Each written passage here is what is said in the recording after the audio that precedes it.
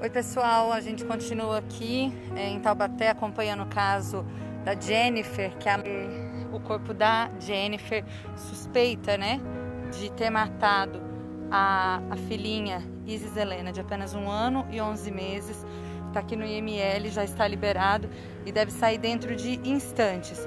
Para quem acompanhou a nossa programação hoje, a gente falou muita coisa aqui do caso. Deixa eu sair da rua para carro possa chegar. É, a gente acompanhou hoje desde a, de, de manhã é, essa história, porque ela foi Inscreva-se no canal e deixe o seu like. Foi encontrada morta, né? A, a Jennifer foi encontrada morta dentro de uma das celas da penitenciária aqui de Tremembé, local para onde ela foi trazida em abril do ano passado. Para quem sabe, acompanha o caso, né? A Isis Helena é, foi morta no dia 2 de março do ano passado. E depois de 59 dias que o corpinho da bebezinha foi encontrado enterrado às margens né, do Rio do Peixe, lá na cidade de Itapira, aqui no interior de São Paulo. Esse caso ganhou muita repercussão, nós acompanhamos com exclusividade todo, todos os dias né, da, da que as pessoas foram em busca do corpo dela. É, a, a, Juliana Coleta fez um trabalho muito minucioso também de acompanhar de pertinho tudo que acontecia lá para que a gente pudesse mostrar para vocês.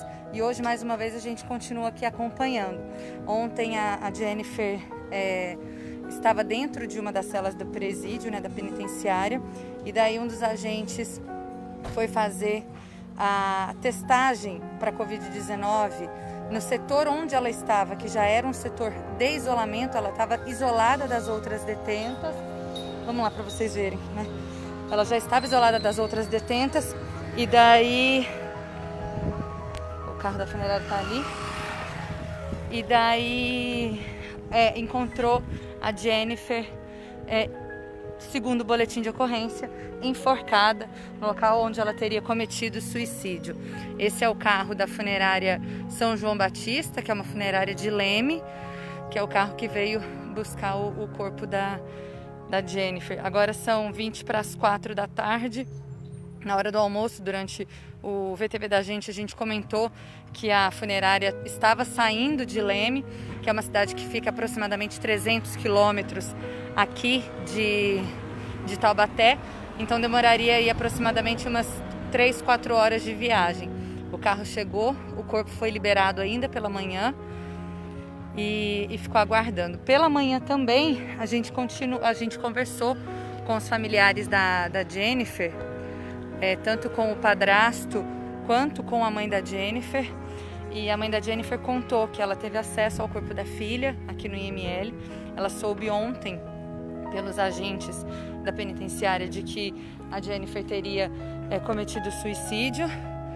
E hoje, na hora que ela teve o acesso, o contato com o corpo da menina, ela confirmou que tinha realmente marcas de agressão, é, marcas né, de enforcamento no pescoço, o que pode ter sido provocado por enforcamento com uso de alguma coisa ou também algum tipo de estrangulamento, a gente não consegue é, confirmar nada. Fato é que existia sim marcas no pescoço da Jennifer, inclusive a mãe dela, a Rose, falou que tinha marcas de arranhões também. O boletim de ocorrência, para deixar bem claro, foi um boletim de ocorrência registrado como homicídio consumado, mas hoje pela manhã uma nova vertente também será apurada. É, a Jennifer passou também, ela fez a, a necropsia no corpo Aí a Jennifer passou também por um exame toxicológico, por um exame toxicológico que é a, a coleta de, de sangue, né? E também de parte das vísceras de, de alguns órgãos, né? O, o carro foi lá atrás, olha só para vocês verem. Então pode ser que a, a causa morte da Jennifer aí pode ser que não seja suicídio. É claro que agora esse laudo aqui do IML vai ser encaminhado para a Polícia Civil. Esse exame toxicológico, primeiro ele é, ele é encaminhado para São Paulo, né, para o laboratório de São Paulo. Depois ele vem o delegado que vai acompanhar o caso para que seja feito exatamente o laudo da, casa, da causa morte da Jennifer.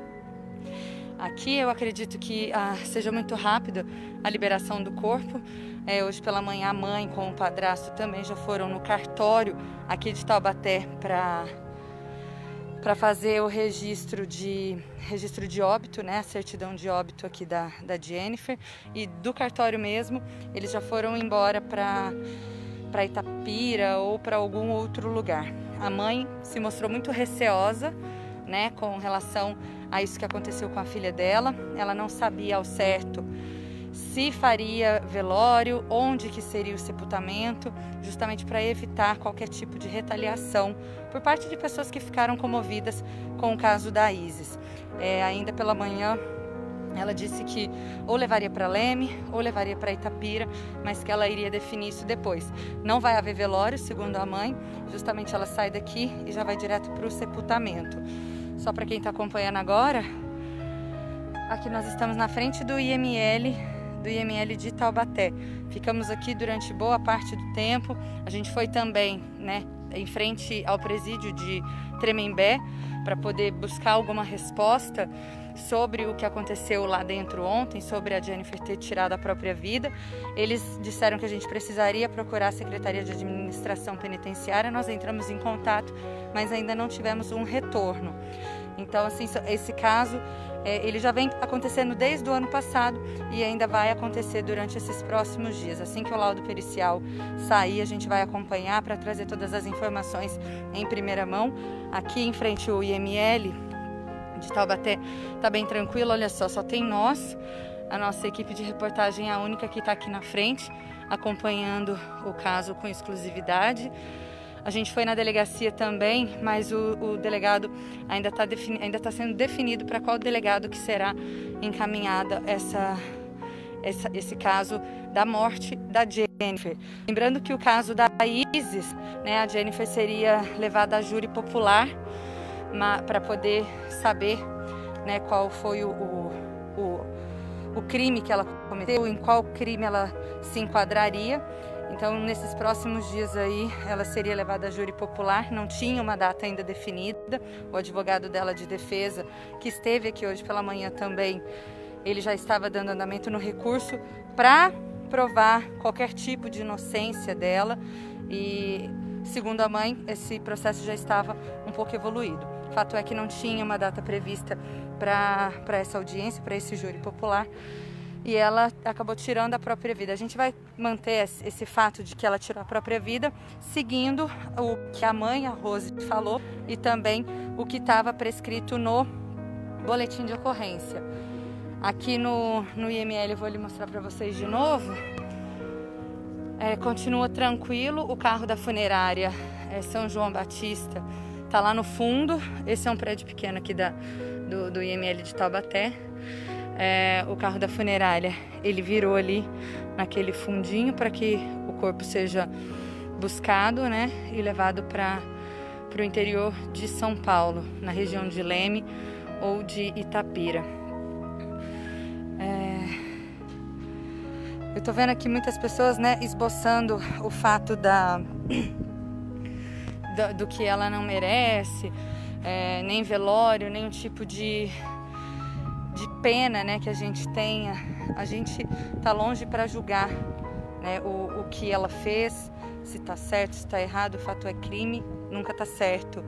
Mas como ela ainda não havia sido condenada pelo crime, a gente trabalha com as suposições, de acordo com os depoimentos que ela deu, de acordo com os depoimentos que ah, os advogados de acusação deram. Né? Então, tudo é baseado na, na, nas questões dos depoimentos. Hoje pela manhã, o pessoal tá falando aí que já até viu imagens do, do corpo, né, da, da Jennifer. A gente não pode nem mostrar uh, as, as, imagens do corpo, porque é muito pessoal. Né? A gente sabe que ela tá morta, é, se foi uh, se foi suicídio ou não, isso a gente vai ficar sabendo dentro de 30 dias mais ou menos, que é o prazo que eles pedem para liberar o, o laudo da perícia, né, da necropsia. E a gente continua aqui aguardando. Ah, no Jornal da VTV, hoje às 7h15 da noite, vocês acompanham também uma matéria de todo esse acompanhamento que a gente está aqui. Tá vindo uma funcionária ali. Vamos ver se o corpo já vai sair. Vou perguntar. Acho que vai sair o corpo agora, olha só. Vocês acompanham aqui com exclusividade com a gente o corpo da, da Jennifer. Ah. O corpo tá saindo? Tá? Então aqui em poucos instantes o corpo da, da Jennifer Natália está saindo para que seja levado para o sepultamento junto à família. Como eu bem falei, a, a mãe nos disse que não haveria velório, ela não confirmou nada, nenhuma informação de velório, nem de local do sepultamento. Olha lá, ó. Esse é o momento que o carro da funerária de Leme está levando o corpo da Jennifer Tá aí o corpo dela sendo levado para sepultamento. Bom, a gente mostrou para vocês hoje todo um dia de trabalho de um caso de muita repercussão. Obrigada, viu? A gente agradece os profissionais aqui do IML que nos trataram muito bem. A gente entende que muitas das informações eles não podem passar porque são informações que vão para o inquérito policial depois, mas eles foram super cordiais com a gente em nos atender prontamente, em permitir o nosso trabalho aqui na frente. E a gente tentou mostrar aí hoje, durante todo esse dia, como que foi o dia de trabalho nosso para trazer informações de um caso tão importante. Outras informações vocês também acompanham, como eu já disse, às 7h15 da noite no Jornal da VTV e amanhã também no VTV da gente. A gente segue continuando nesse caso aí da Isis, da Isis Helena. Tá bom, pessoal? Obrigada aí pela parceria.